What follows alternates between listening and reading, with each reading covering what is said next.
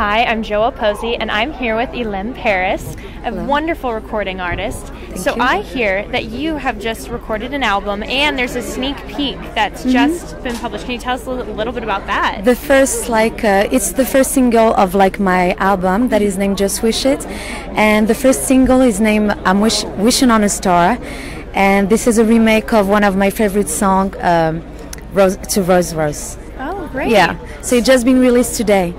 So, what is your favorite part about this specific album?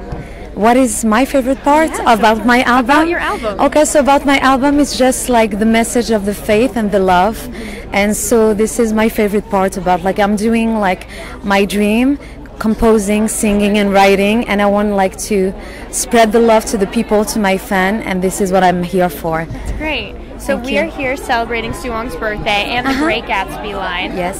What is your favorite thing about Suwong and her clothing?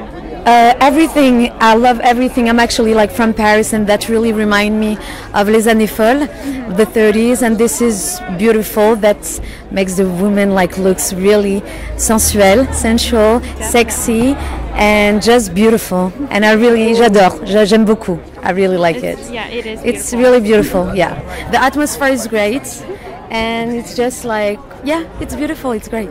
So, um, what are you up to now after you know having a recording?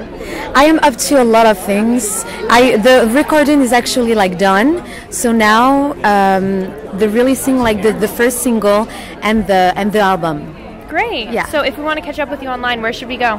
You should go to my website, Ilhame Paris. I'm just gonna spell my name because it's not like really easy. I L H A M E P A R P A R I S. Yeah. The same for Twitter, the same for Instagram, the same for Facebook, and the same for Kik.